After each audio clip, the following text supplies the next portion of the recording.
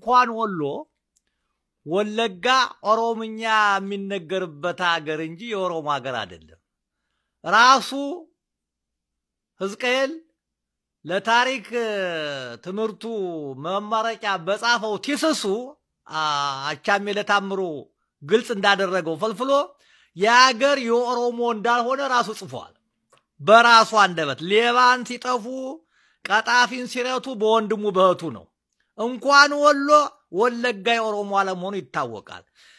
ታሪክን ለማስጨበጥ በኢትዮጵያ ታሪክ ውስጥ ኦሮሞዎቹ አንድን ጠንካራ ጠላት፣ ምክንያቱም ስርዓታቸው ገዳ ነው። የመንግስት ስርዓት አያውቁም። ከተማ ቆርቁረው አያውቁም። መንግስት አስተዳደር ደርሰው አያውቁም። ሰፊ መሬትና ውሃ ባለበት ቦታ ላይ መሄድ ነው።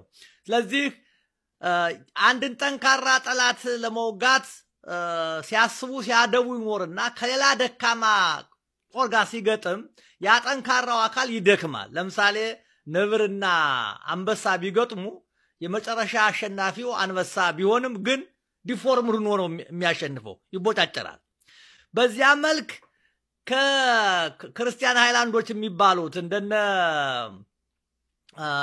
የኛ ከግራይ ጋራ የተዋጉት እነ ሰርጸ ድንግል እነ ገላውዲዮስ እነ ሚናስ የምንላቸው ሰዎች ሲታገሉ የኦሮሞዎቹ ባሌ ላይ መጥተው ሰፍረው በአስራ አምስት ሀያዎቹ አካባቢ ላይ ሰፍረው መጥተው ወደ መሀል ሀገር ለመስፋት ይጠባበቁ ነበረ። ያ በግራኝ ወረራ ማዕከላዊ መንግስት ሲዳከም እነሱ አብዛኛውን ቦታ እየያዙ መጡ። የሄዱበት ቦታ ስም የጥንት ስሙን እየቀየሩ መጡ። ለምሳሌ ወለጋ ቢዛምን ነው ወይም ዳሞትም ግማሹ ዳሞት ነው። ኤሊባቡር እናሪያ ነው። ከሰፈረ በኋላ ነው ኤሊባቡር የተባለው። ሐረር ደዋሮ ነው። አርሲ ፈጠጋር ነው። ሰላሌ ግራሪያ ነው። ወሎ ላኮ ሞልዛ ነው። ራያ አንጎት ነው። ዛሬ የምትላቸው ወረባቦ ወረሂሞ የምትላቸው እንደ አማራ ሳይንትን እንደ ቤተ ጊዮርጊስ ናቸው። እነሱ ስመጡ አጼ ምኒልክ ኋላ ኢትዮጵያን አንድ ካደረጉ በኋላ ቀዳማዊ ኃይለ ሥላሴም አንድ ካደረጉ በኋላ ወደ ጥንት ስማቸው ይለወጡ አለማለታቸው። ለምሳሌ ኤርትራን እንውሰድ። በ1890 ላይ ነው ሲቆጣጠሩ ኤርትራ ያሏት እንጂ ባህረ ነጋሽ ነበረች። አልቀየሯቸው። በዚያ መጡ እንጂ ወሎ ቀርቶ ሐረር፣ ወሎ ቀርቶ አርሲ ነሱ። አርሲ በብዛት አማራዎች፣ ሜያዎችና ሀዲያዎች ሀገር ነው። ወለጋ የአንፊሎዎቹ፣ የአማራዎቹ፣ የሜያዎቹ ሀገር ነው።